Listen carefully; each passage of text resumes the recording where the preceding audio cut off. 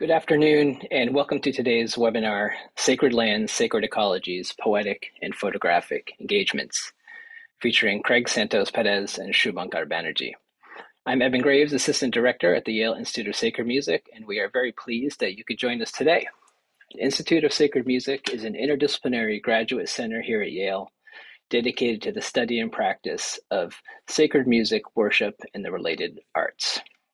Today's webinar is the first in a series that is titled Mass Extinction Art, Ritual, Story, and the Sacred. If you would like to register for upcoming webinars in this series, please follow the link that we're going to put in the chat right now. And that will show you a list of our three upcoming webinars, um, each of which does require a separate registration. Um, today's webinar also coincides with the start of a new program here at the Institute of Sacred Music and I'm delighted to announce the launch of our Religion, Ecology, and Expressive Culture Initiative. This project seeks to foster dialogue and disseminate work by scholars, artists, leaders, and activists across all disciplines and religious and indigenous traditions who work at the intersection of religion, ecology, and the arts. I encourage you to follow the link, uh, another link we're going to put in the chat, to explore more about this initiative and our call for proposals, uh, but as a teaser, I will mention that in our first round of applications, we will be accepting proposals for projects uh, ranging from conferences to performances and from art exhibitions to virtual events. Um, and the deadline will be March 30th um, for that first call. And you can find out more about eligibility and the application process online. So with that, I would like to introduce the convener of this webinar series here at the ISM and our moderator for today, Dr. Ryan Darr. Uh, Dr. Darr is postdoctoral associate in religion, ecology, and expressive culture here at the ISM, and his research and teaching studies mass extinction through the lens of theology, philosophy, and literature. So I will pass it over to Dr. Darr. Thank you, Evan. And uh, welcome again, everyone. I'm so glad to see so many people in attendance for this webinar. And I'm especially grateful to our two wonderful speakers for agreeing to participate. Just last month, the UN Conference on Biodiversity held its 15th Conference of the Parties meeting with the goal of making progress toward international cooperation on stemming the tide of biodiversity loss. The tone was one of urgency. As the rate of extinction accelerates, many worry that we are entering a mass extinction event, the sixth in Earth's long history. In this webinar series, we'll explore the topic of mass extinction through the lens of art, ritual, story, and the sacred to better understand not only what is happening, but also what it means, how we are a part of it, and how we can respond. Over the next month, we'll hear from an exciting group of scholars and artists whose work engages this important topic. Before going any further, let me give you a quick outline of the plan for this webinar. I'm going to begin by introducing both of our speakers. They'll both speak for 15 to 20 minutes each, first Craig, then Subhankar. I'll then give them an opportunity for dialogue if either would like to make a comment on or ask a question of the other, and then we'll turn to Q&A. You're welcome to submit your question in writing using the Q&A function at any point throughout the webinar, and I'll be compiling them. I just ask that you do your best to keep the question concise, uh, and we'll do our best to get through as many as possible. Now for the introductions, there's so much I could say about these two speakers, uh, but I'll keep these introductions quick to save time for their presentations and the discussion. Dr. Craig Santos Perez is an indigenous, indigenous Pacific Islander from Guam. He's the co-editor of six anthologies and the author of five books of poetry and the monograph Navigating Chamoru Poetry, Indigeneity, Aesthetics, and Decolonization. He's a professor in the English department at the University of Hawaii, Manoa. Subhankar Banerjee is a professor of art and ecology and the founding director of the Center for Environmental Arts and Humanities at the University of New Mexico, a co-editor of the Routledge Companion to Contemporary Art, Visual Culture, and Climate Change. Banerjee most recently served as the director and co-curator with Jennifer, Jennifer Garcia Peacock of the A Library, A Classroom, and the World project for the 2022 Venice Biennial Art Exhibition, Personal Structures, which was organized and hosted by the European Cultural Center and won the 2022 ECC Award for University and Research Project. He's currently completing a book on shorebirds, Birds of the Wind, which is forthcoming from Seven Stories Press. So again, thank you for joining us today, um, and thank you to both of our speakers. And I'm now going to turn it over to Craig, whose presentation is titled Pacific Islander Extinction Stories and Sacred Ecologies. Well, Håfa adai todos hamyo, greetings to everyone. Thank you so much, Ryan and Evan, for inviting me to be part of uh, this really important series. Uh, thank you to the Religion, Ecology, and Expressive Culture Initiative at the Yale Institute of Sacred Music uh, for hosting us. I'm going to uh, read some poetry from uh, my most recent book of poems called Habitat Threshold, which was released by Omnidawn Publishing in 2020. And it's a collection of eco poetry. I'm going to read from the middle section of the book, uh, whose main themes are human-animal relations, uh, endangerment and extinction, and multi-species justice. This first poem is entitled Silent Spring Haiku, and it begins with a sentence from Rachel Carson, quote, everywhere was a shadow of death, end quote. Silent Spring Haiku. Dead bees seed the bed of our garden. What flowers unpollinated? This next poem is titled Blood Ivory, and it takes place at the Honolulu Zoo here in Hawaii, where I live, and uh, wrote it after I took my daughter there on World Elephants Day. Blood Ivory. When we reach the elephant enclosure, I lift our daughter up so she can see them playing in shallow ponds. Look, I say, they love the water just like you. Today, 96 elephants are being massacred across Africa's scarred savanna. Armed poachers surround the herds, who stomp, trumpet, and encircle their calves. Bullets, those small human tusks, bite through thick, wrinkled skin.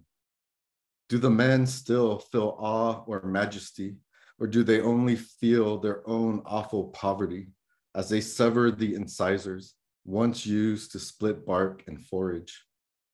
Warlords will sell this white gold to be carved into jewelry, relics, and art, then smuggled across the planet, our man-made elephant graveyard.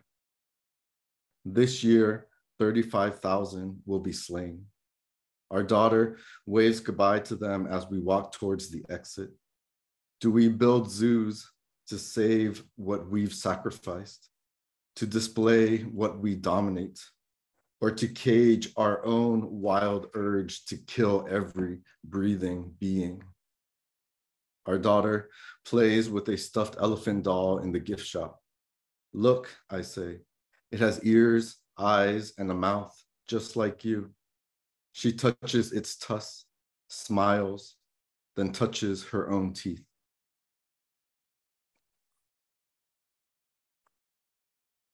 So my daughter uh, makes an appearance in many of these poems, and uh, many of them are inspired by um, being a new parent uh, when she was born in 2014.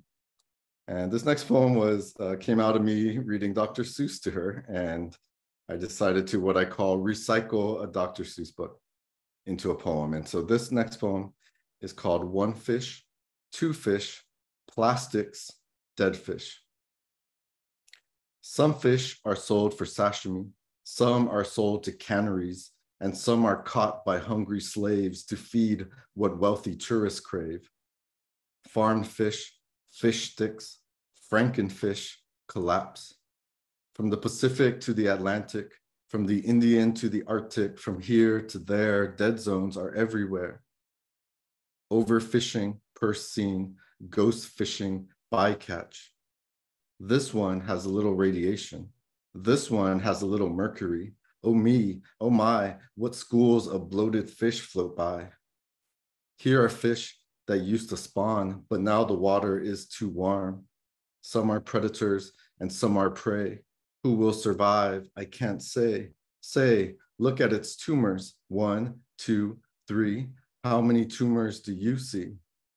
Two fish, one fish, filet fish, no fish.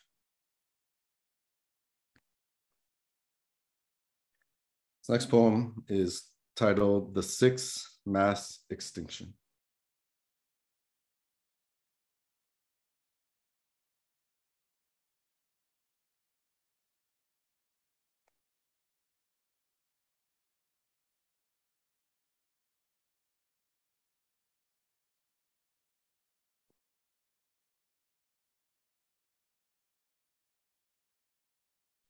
This next poem is titled Thanksgiving in the Plantationocene. Thank you, instant mashed potatoes. Your bland taste makes me feel like an average American. Thank you, incarcerated Americans, for filling the labor shortage and packing potatoes in Idaho. Thank you, canned cranberry sauce, for your gelatinous curves. Thank you, native tribe in Wisconsin. Your lake is now polluted with phosphate discharge from nearby cranberry bogs. Thank you, crisp green beans. You are my excuse for eating dessert a la mode later. Thank you, indigenous migrant workers, for picking the beans in Mexico's farm belt. May your bodies survive the season. Thank you, NAFTA, for making life dirt cheap. Thank you, Butterball Turkey, for the word butterball, which I repeat all day. Say it with me Butterball, Butterball, Butterball, because it helps me swallow the bones of genocide. Thank you, dark meat, for being so juicy. No offense, dry and fragile white meat, you matter too. Thank you, 90 million factory farm turkeys, for giving your lives during the holidays. Thank you, factory farm workers, for clipping turkey toes and beaks so they don't scratch and peck each other in overcrowded dark sheds. Thank you, stunning tank, for immobilizing most of the turkeys hanging upside down by crippled legs. Thank you, stainless steel knives. Thank you, scalding hot defeathering tank, for finally killing the last still conscious turkeys. Thank you, Turkey Tails, for feeding Pacific Islanders all year round. Thank you, Empire of Slaughter, for your fatty leftovers. Thank you, Tryptophan, for the promise of an afternoon nap. And thank you, dear listeners, for joining me at the table of this poem.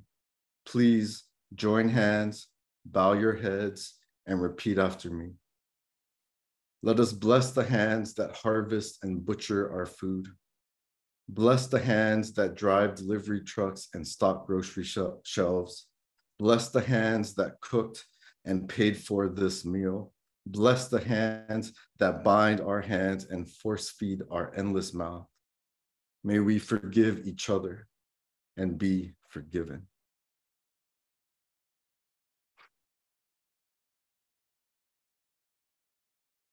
Next poem, also related to food in a way, uh, is called Cockroach Ode.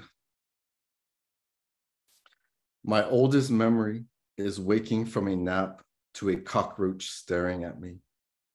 It doesn't move as I clutch its dark body with my toddler fingers. When I bite down, it hisses, legs, wings fluttering. Have you ever seen a decapitated cockroach scurry? Today, rising sea levels threaten their populations because they can't swim. But don't worry, they breed a will to thrive. There are too many of us attitude. They're the first terrestrial beings to birth in space, pre Jurassic, post nuclear, future milk. They've learned to avoid the violent light of human eyes. I can still feel its antennae searching my tongue for the foul saliva of extinction. Blessed be the cockroaches, for they shall inherit the warming earth.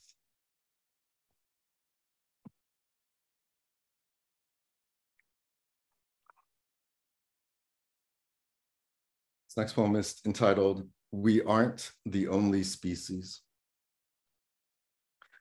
Who age, who change, who language, who pain, who play, who pray, who save, who mate, who native, who take, who break, who invade, who claim, who taste, who want, who talk, who crawl, who walk, who yawn, who trauma, who laugh, who care, who hear, who fear, who steal, who heal, who friend, who remember, who sex, who nest, who settle, who smell, who help, who eat, who feed, who greed, who sleep, who seed, who need, who belong, who bleed, who speak, who see, who breathe, who breathe, who breathe, who think, who drink, who sing, who thirst, who birth, who kill, who smile, who lick, who listen, who kiss, who give, who sick, who piss,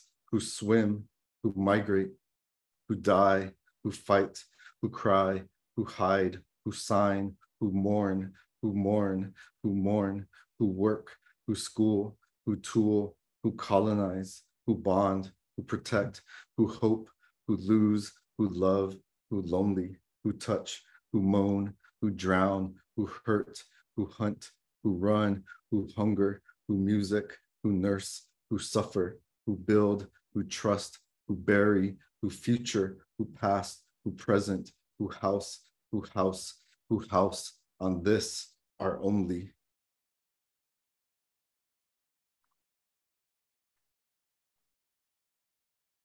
Okay, I just have two more poems to share. Um, this next one is uh, entitled Echolocation, and it's dedicated to a well that scientists uh, call J35 or Tahlequah. It's a, a, orca who gave birth in 2018, uh, but sadly its calf uh, died soon after birth. Um, but for those who saw this on the news, uh, ended up carrying this calf uh, a couple weeks, about 18 days or something, uh, in mourning. And so I wrote this poem in response. Echolocation. My wife plays with our daughter while I cook dinner. On the news, we watch you struggle to balance dead calf on your rostrum. Days pass. We drive our daughter to preschool and to the hospital for vaccinations. You carry your child's decomposing body a thousand nautical miles until every wave is an elegy, until our planet is an open casket. How do you say sorry in your dialect of sonar calls and whistles? What is mourning but our shared echo location? Today, you let go so her body could fall and feed others. Somehow you keep swimming. We walk to the beach so our daughter can build sandcastles. May she grow in the wake of your resilience. May we always remember love is our wildest oceanic instinct. And if uh, if you follow orcas, um, you might know that this same whale gave gave birth again to a calf uh, during the pandemic, and and that calf seems to do uh, a thriving so far. Okay, thank you again for listening. It's my final poem. It's uh, dedicated to a native Hawaiian bird called the Kauai o'o, whose song was last heard here in 1987. And the poem is titled "The Last Safe Habitat." I don't want our daughter to know that Hawaii is the bird extinction capital of the world. I don't want her to walk around the island feeling haunted by tree roots buried under concrete. I don't want her to fear the invasive predators who slither, pounce, bite, swallow, disease, and multiply. I don't want her to see paintings and photographs of birds she'll never witness in the wild. I don't want her to imagine their bones in dark museum drawers. I don't want her to hear their voice recordings on the internet. I don't want her to memorize and recite the names of 77 lost species and subspecies. I don't want her to draw a timeline with the years each was first collected and last sighted. I don't want her to learn about the Kauai o'o, who was observed atop a flowering ohia tree, calling for a mate day after day, season after season, because he didn't know he was the last of his kind. Until One day, he disappeared forever into a nest of avian silence. I don't want our daughter to calculate how many miles of fencing is needed to protect the endangered birds that remain. I don't want her to realize the most serious causes of extinction can't be fenced out. I want to convince her that extinction is not the end. I want to convince her that extinction is just a migration to the last safe habitat on Earth. I want to convince her that our winged relatives have arrived safely to their destination, a wondrous island with a climate we can never change, and a rainforest fertile with seeds and song. Thank you. Thank you so much, Craig. That, that was powerful. Um, I've been um, beginning my class these last couple of weeks by reading a poem of yours from that collection. Um, and I, we did uh, the Sixth Mass Extinction last class yesterday, but I had no idea how to read it. So that, that was really powerful to see what you did with that. Let me remind you all um, that you can enter your questions to the Q&A function at any time. Um, we're now going to turn to Subhankar's presentation, which is titled The Garland Changes Everything, Religion, Ecology, and Justice in the Sundarban.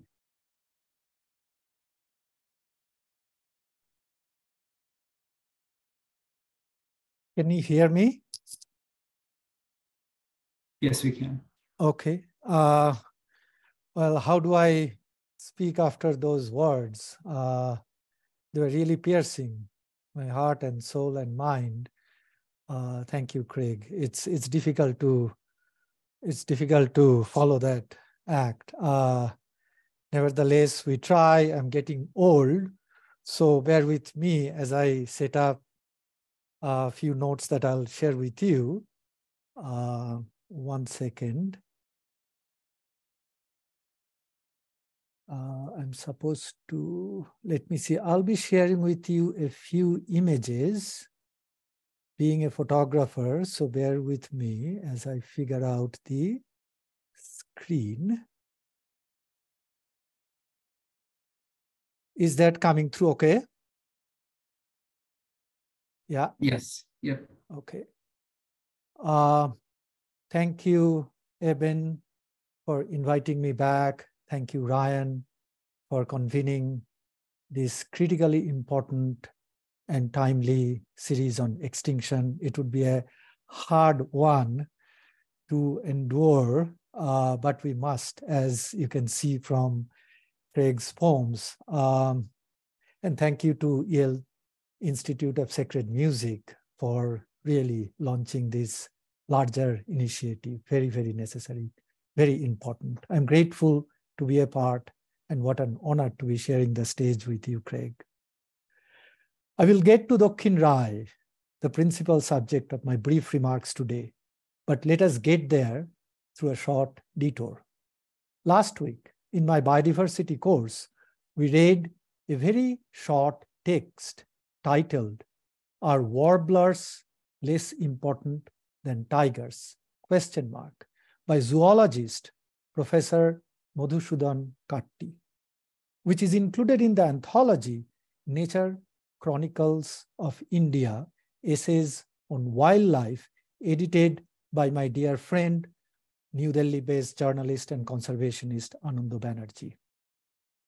Katti's text, concise, informative, innovative, and thought-provoking, set the stage for the first module of the course, charismatic or iconic versus overlooked or underappreciated.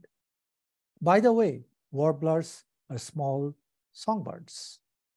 Since the turn of the century, my own work has largely focused on the overlooked and underappreciated species, places, and peoples. But we also must not overlook visual representations of charismatic species, polar bear and tiger included. Some of you are likely rolling your eyes, asking, haven't we seen enough pictures of polar bears and tigers? Question mark. We have. We are flooded with pictures of polar bears and tigers. Coca-Cola uses pictures of cute polar bear mother and cubs to sell soft drink, while Heineken uses pictures of tiger to sell strong beer. Both are cold beverages sold all over the world. On the other hand, popular books, magazines, newspapers, films, TV programs, and advocacy campaigns from conservation organizations regularly publish sad or sentimental images of polar bears, which then gets critiqued by influential public intellectuals. But if you gather all such images and the critiques and put them into one basket, it will look reductive. They're all talking to each other inside a small, dark well. Instead, if you engage with pictures of charismatic megafauna produced far away from the society's mainstream through the lens of what Yale ISM calls expressive culture, say by indigenous and other artists at the margins of society, suddenly the basket looks wide and big, intriguing and eye-opening, bright and complex. So, in defense of polar bears, few years ago, I wrote a very short chapter, Why Polar Bears? Question mark. That was included in a book on the Anthropocene published by Smithsonian.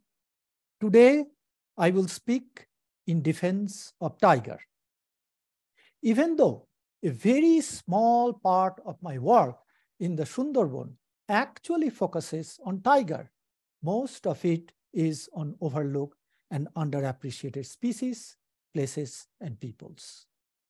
Mere 14 years ago, in 2009, the tiger conservation community had assessed that the global tiger population had declined from an estimated 100,000 a century ago to about 3,500, more than 95% decline in population. Quote, tigers could become extinct in the wild in two decades, unquote, was the message. The following year, Russia hosted the first International Tiger Conservation Forum in St. Petersburg that brought leaders from all 13 countries that provide home to tiger.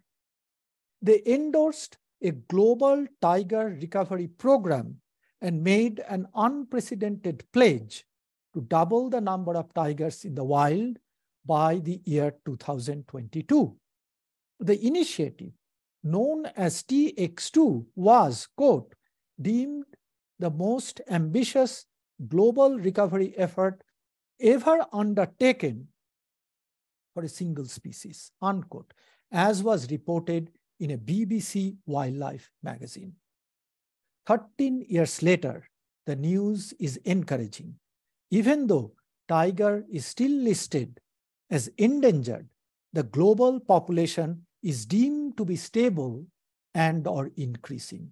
In Nepal and India, tiger populations have increased rather significantly, although there are debates on by how much. Now consider this irony.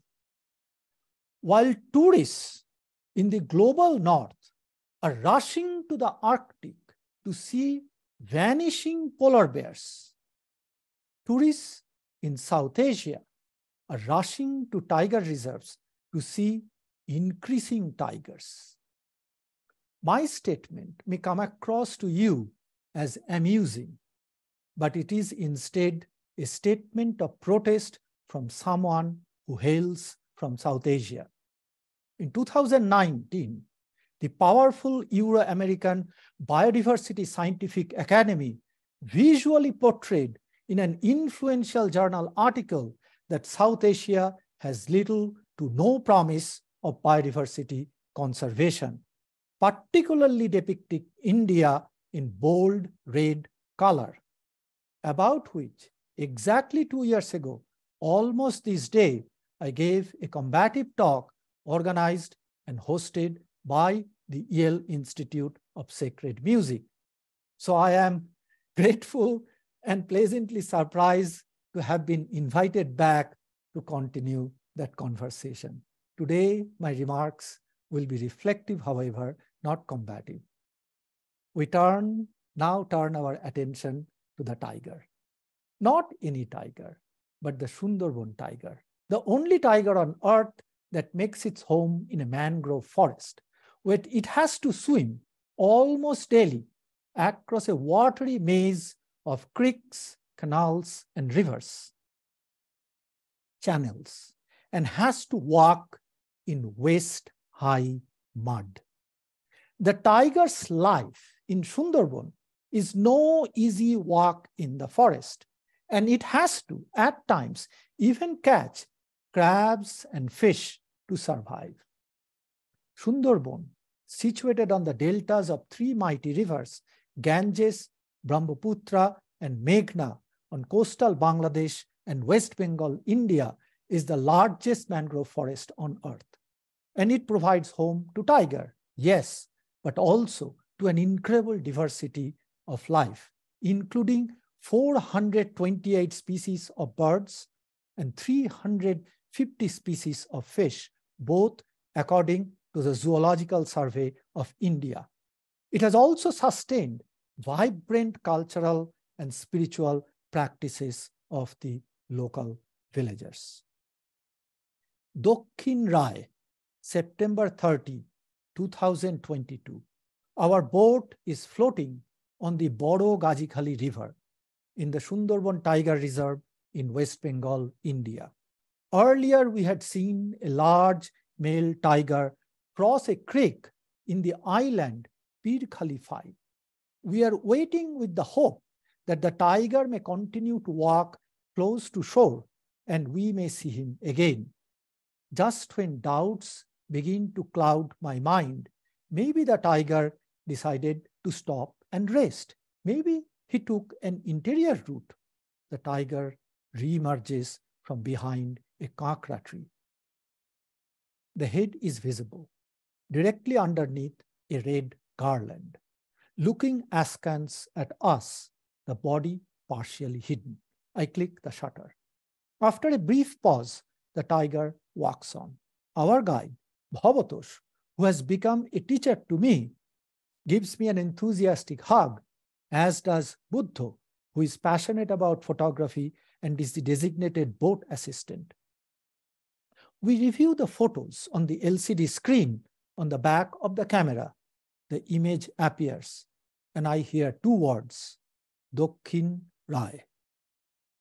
Bhabatosh explains that the plastic red garland is a trace of an offering to the forest deity Bon Bibi by the honey collectors from a neighboring village after they came out of the forest with a successful harvest in spring.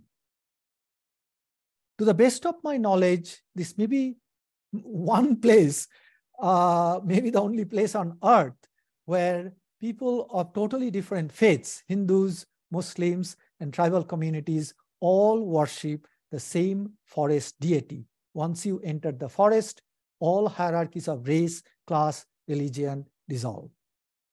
The forest is the equalizer, as an environmental uh, uh, anthropologist Annu Jalais wrote in her remarkable book, Forest of Tigers.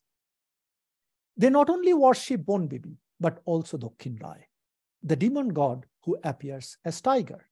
The story, story of Bon Bibi and Dokkhin Rai are well known and written about extensively in Bengali and English. The question that I have been wondering, however, is this. How do I tell the story of Sundarban entirely with visuals and visual culture and their interpretations, which will honor the charismatic and the overlooked and their entangled relations that span across places and seasons? Think of what I'm about to share with you as just one small flower one marigold in a large garland that I hope to thread together in the coming years. Conflict of wishes. In addition to Kakra, we also see at least two more mangrove tree species. On the left is Goran, and behind that is Poshur, which has a few brown fruits. The trees frame an opening with muddy ground and mangrove knee roots, where the paths of the tiger and the honey collectors cross in space, but thankfully not in time. The honey collectors and their family members do not invoke the word bagh as in Bengali or tiger. They only refer to him as Dokkhin Rai or they.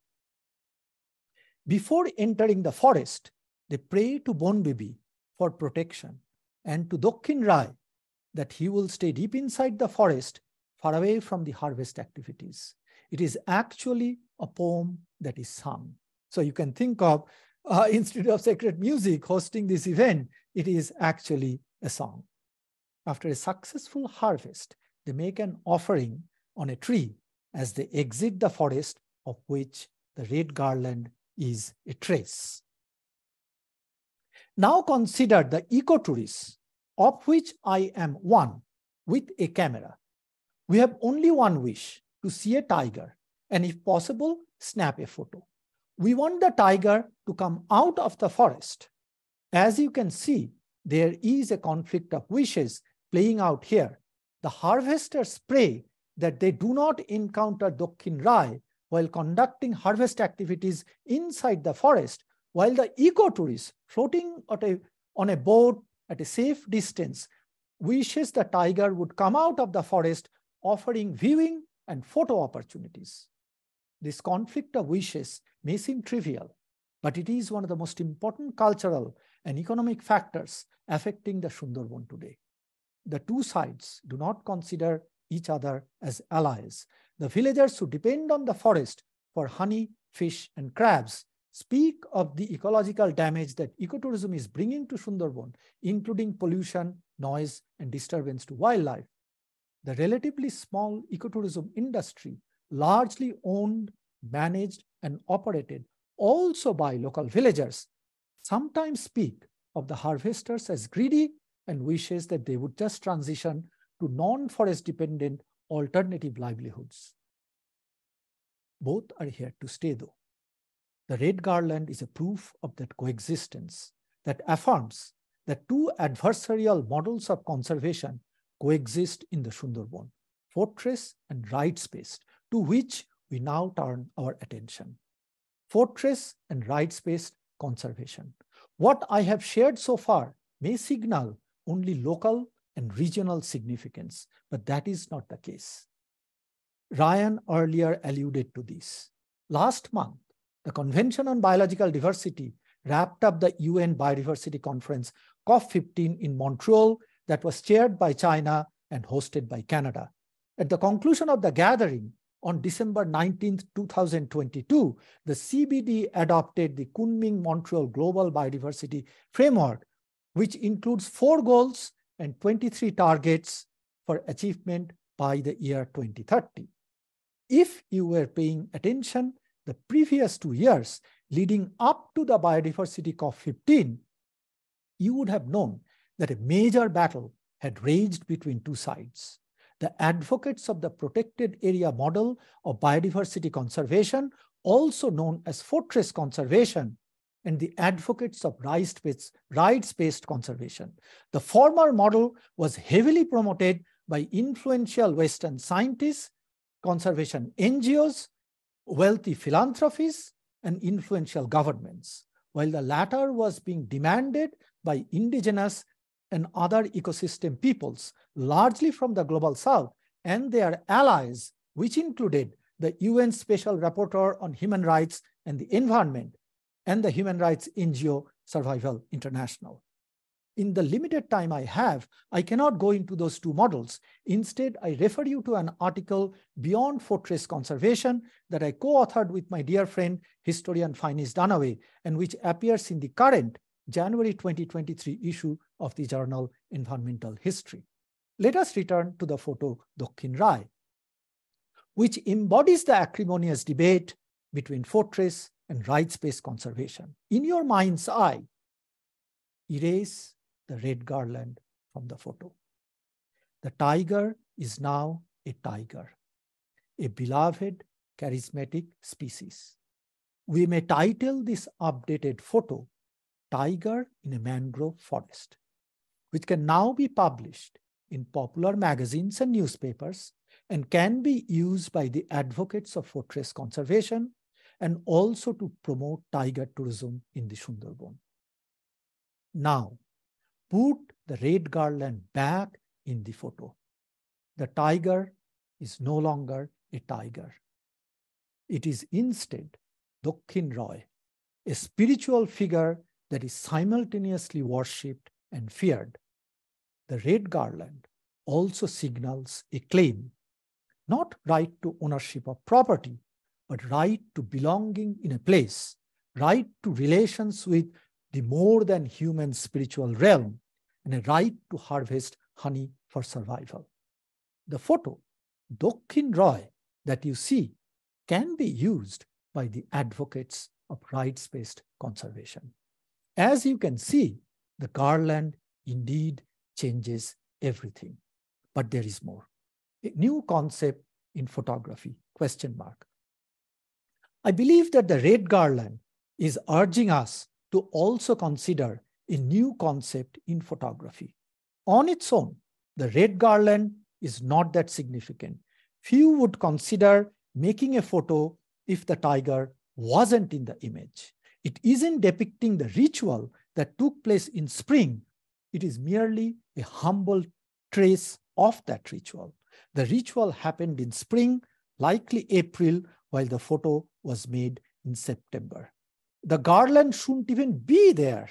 Its presence is fortuitous and signals another type of trace that there was no cyclone in the Sundarban Tiger Reserve in 2022, which was a huge relief for the animals, trees, and the local villagers after they endured three successive cyclones in three consecutive years. Bulbul in 2019, the super cyclone Amphan in 2020, and Yaas in 2021. If a cyclone had hit the Sundarban Tiger Reserve between April and September 2022, there would likely not be the red garland on the tree. It would have blown away. A rather small item in the photo, which is not that significant on its own, completely changes the identity and meaning of the primary subject. From a charismatic, beloved species, we the tourists call tiger to a revered and feared spiritual figure whom the local villagers call Dokkhin Rai. Without going into the weeds of photo theory, I humbly suggest that the garland is not a punctum, a powerful concept in photography which was introduced by the 20th century French theorist Roland Barthes. What is it then? I don't know, but I believe the red garland has the promise to open up new conversations in photography. Sundarban honey returns to Albuquerque. I had to return to Albuquerque to resume teaching at the University of New Mexico. The wait time at the Kolkata airport was long. At the international terminal, there is a Biswa Bangla craft store, government supported. I went over there and bought a small jar of Sundarban honey, rupees 75, which is less than a dollar. The tiger, unconcerned about the tourist gaze, is moving left from left to right. In addition to tiger and tree, we also see a bee and a whole new world opens up. The bees migrate to Sundarban from eastern Himalaya. According to the large format book, Fauna of Sundarban Biosphere Reserve, published by the Zoological Survey of India. They connect Himalayas to the Sundarban. An estimated more than 40 metric ton of honey is harvested each year from the Indian Sundarban and is processed and marketed through a cooperative system that is supported by the government. Conservation in the Sundarban also includes economic justice for the villagers, some of whom are among the poorest residents of West Bengal. Earlier, I said I'm figuring to tell a story of Sundarban entirely with visuals and popular visual culture. This picture of the jar of honey is one such visual that connects Sundarban to the world at large and brings us back to where we started the charismatic and the overlooked. The tiger and the bees appear in the same image and honor rights based conservation and economic justice along with multi species kinship. Thank you.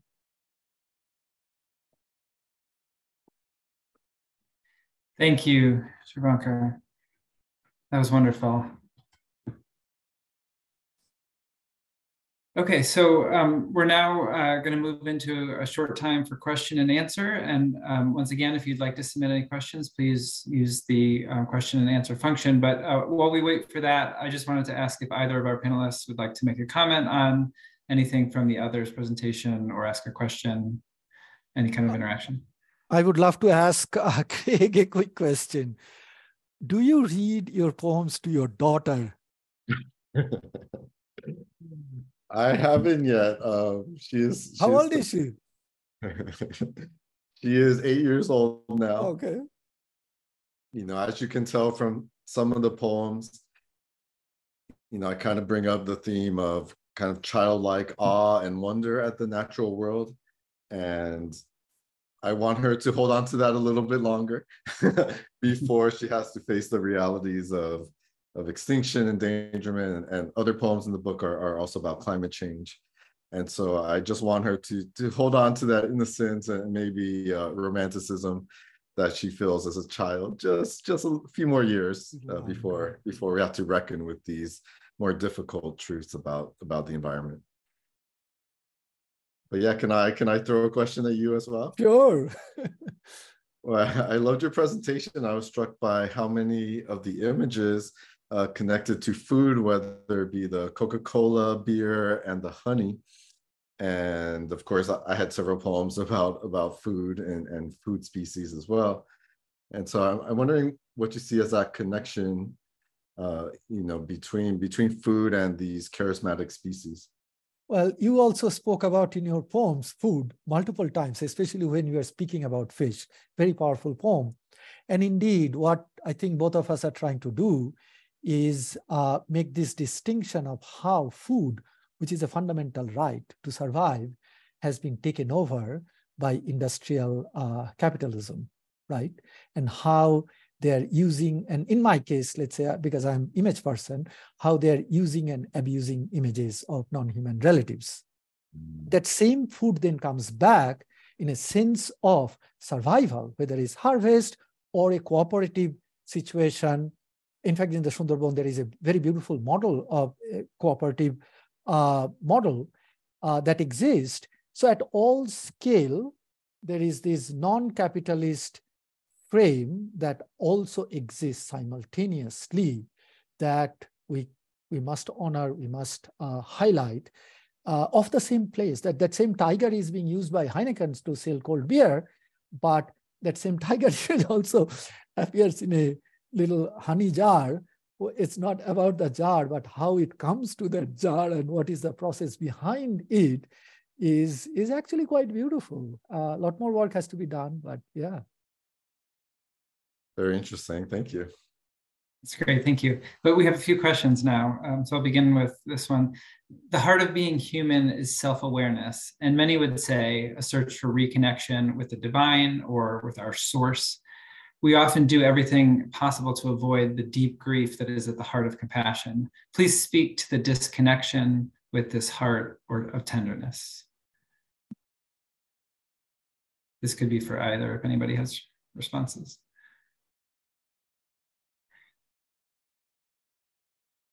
Greg, take it on. Well, that's that's a deep question. Uh, thank you. Yeah, you know, I think so much of of our, our modern world is to distract us from from the grief and pain of, of many other species and of course many uh, other human beings as well. And at least for me as a poet you know i try to highlight those those deeper emotions that um, you know we may not be able to to really feel as we just try to survive in, in, in this capitalist world. And so uh, that disconnection you know i think also disconnect us disconnects us uh, not only from tenderness and compassion but of course from from empathy as well. And i think that's an important emotion uh, especially when thinking about you know our relations to animals how we care for them and uh, you know how we you know think about conservation of course as well. So i'll briefly add to that. Again it's a powerful question is eh, you know I, I, today i'm a university professor and i do arts and humanities but i have zero academic training in either field. So you can call me a total imposter hanging around in academia. But i i say that my teachers uh, did not come from academia. They are indigenous uh, elders from the arctic and and my biologist friends from the arctic. That's whom i learned from. So in the arctic i was working at the turn of the century when we were witnessing uh, really painful things. Today, climate change is a reality everywhere, painful stuff. So mourning was a very deep part of uh, that experience. But at the same time, this idea of multi-species kinship, even as we mourn, uh, gave me the hope to continue on. And it all came from indigenous elders, Sarah James, Rosemary Atwan Garwak, Norma Kassi, Robert Thompson, and many, many others. So, so it's that it's that living with pain and mourning, even as we move forward. As uh, Craig was saying just a moment ago, that he wants his daughter to experience the joy, the excitement, because those non-human relatives are here with us, still here with us. Those songs are still here. A lot is going away, but there is a lot here. So focusing on that kinship is, is really a very important place to be. Thank you. Here's a question for both of you. How does your medium of choice, poetry or photography, affect how you view ecological, ecological issues such as mass extinction or the natural world in general? Well, I mean, okay, I could make a quick remark. You know, uh, the, the term ecology as it is understood in the, among the general public and in academia, that it was, of course, coined by a scientist, Ernest Haeckel, in 1866. But what is lost to history, largely speaking, but of course it is being recovered, that artists had developed, the Barbizon School of Artists had developed uh, at the same time, in parallel to the scientific development of that term, uh, very complex ideas of ecology. And there is a book called Art and Ecology in 19th Century France. And my dear friend at the Princeton Art Museum uh, last year uh, did a book called Picture Ecology, edited volume, where we discussed some of these things. So uh, choice of the medium is that visual representations as we looked at help us if we let go of the commercial space of art and think about more broadly visual culture, then anything and everything becomes a subject of ecology. A little jar of honey or an ad uh, that I experience while being in a plane uh, becomes then your subject. So the whole world then opens up. So it's a very beautiful thing because ecology is about connections. And uh, yeah, so I'll leave it at that. Yeah, you know, for me, poetry has has always been uh, a space where I can process and articulate uh, my emotions. And of course, learning about ecological issues and climate change can cause a lot of anxiety. And so, you know, poetry has really helped me, uh, you know, just process that anxiety and, and fear and, and grieving in terms of, of extinction. Um, you know, I think also poetry, the arts and the humanities in general, uh, are, are, really creative ways for us to uh, develop our own environmental literacy and you know to inspire and empower us to uh, you know struggle against the fossil fuel industry or to protect our, our sacred lands and waters. And so you know in that sense it not only can educate us help us uh, heal and and express ourselves but then also you know uh, give us hope and and strength to to keep going Thank you. I, here's a question coming from one of our future presenters, uh, Persephone Pearl. She says, I'd like to ask Craig about the Thanksgiving poem.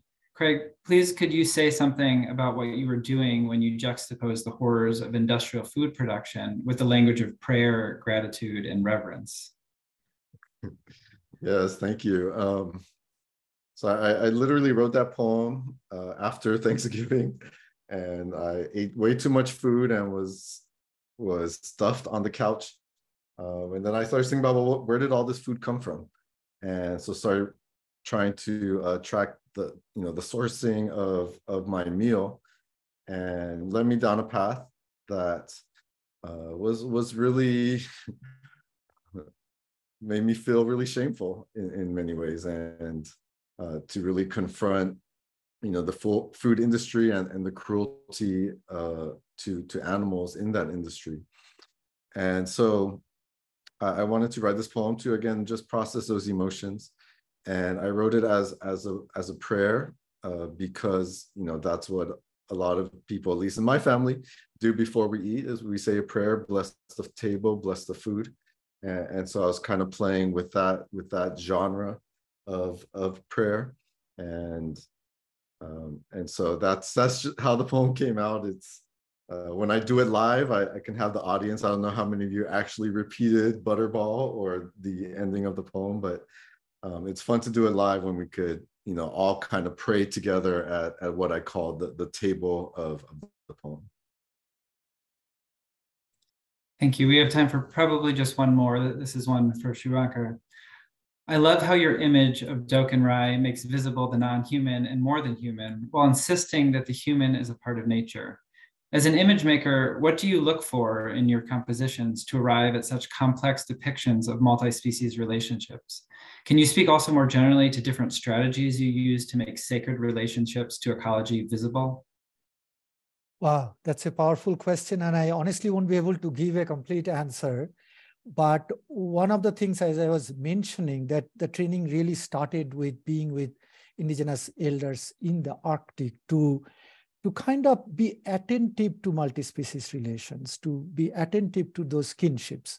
So when you ask like, what am I looking for? In a way, I'm not looking for anything. When I'm out there on the field, uh, my partner, Dr. Jennifer Garcia Peacock, knows when I'm out there on the field, there is no really aim or goals. It's just being there and spending time, learning from, like today, Bhabatosh, as I mentioned, has become my teacher and he's 20 years younger to me uh, in the Sundarban. So it's being attentive and then such moments do arrive. That was, of course, a very complex moment with the tiger uh, and the garland.